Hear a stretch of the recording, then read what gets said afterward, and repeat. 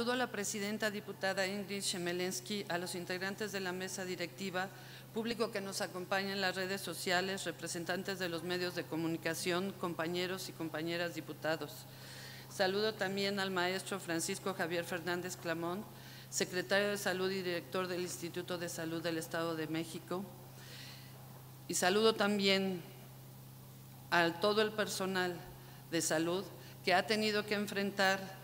estos tiempos y estas pandemias en condiciones no siempre las mejores. ¿Cuántas muertes tomarán hasta que él sepa que demasiada gente ha muerto ya?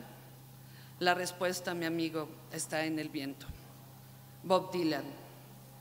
Parafraseando al Premio Nobel de, Literatura, la respuesta ante la muerte y devastación provocada por el SARS-CoV-2 en nuestro país está en The Lancet, la prestigiosa revista científica que ha criticado de manera tejante a los gobiernos de México y Brasil por lo que asegura ha sido una gestión de la pandemia basada en una estrategia ideológica populista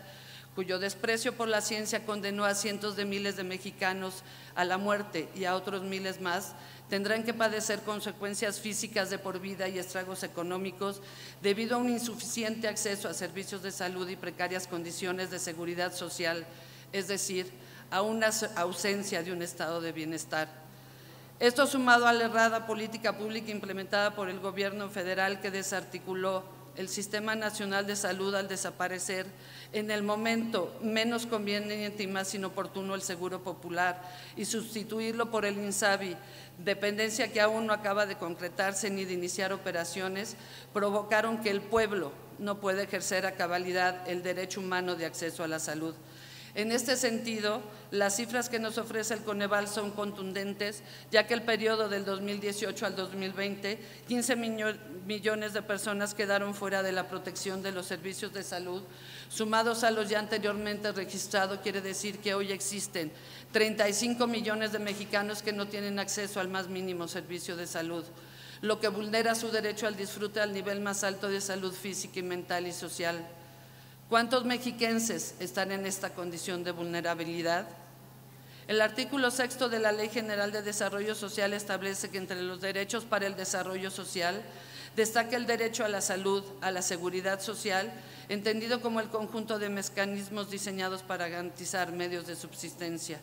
El embarazo es una de estas circunstancias socialmente reconocidas, por lo que es obligación del gobierno salvaguardar la integridad física, y tal como usted ya lo expresó, señor secretario, en el cuarto informe, el incremento de muertes reportadas durante el embarazo pasó del 34.99 al 46.62 muertes por cada 100.000 nacidos vivos, lo que equivale a un incremento del 11.62. Pero más allá del argumento que todo es atribuible a la pandemia, le pregunto si este incremento se se debió a la reconversión de hospitales, al temor de la gente de acercarse a las unidades hospitalarias o a la falla del convenio de coordinación que hicieron para y qué hicieron para contrarrestarlo. De la misma manera, considero importante preguntar en qué etapa del proceso se encuentra la desafortunada entrega del sistema de salud al INSABI de las lecciones aprendidas de la pandemia, en que las acciones así como las inacciones determinaron el desarrollo de la contingencia sanitaria, le pregunto, derivado de la centralización del sistema de salud,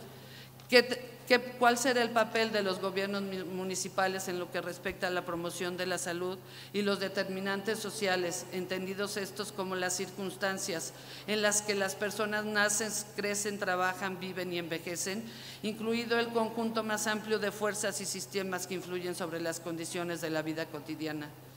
Me queda muy claro que aún estamos muy lejos de hacer efectivo de manera cabal el derecho al disfrute del nivel más alto de salud físico, mental y social de los mexiquenses. No obstante, si ese es su propósito, en el Grupo Parlamentario de Acción Nacional estaremos listos y abiertos a la construcción de acuerdos y acciones que nos permitan llevar a la población del Estado de México a garantizar su derecho a la salud. Gracias.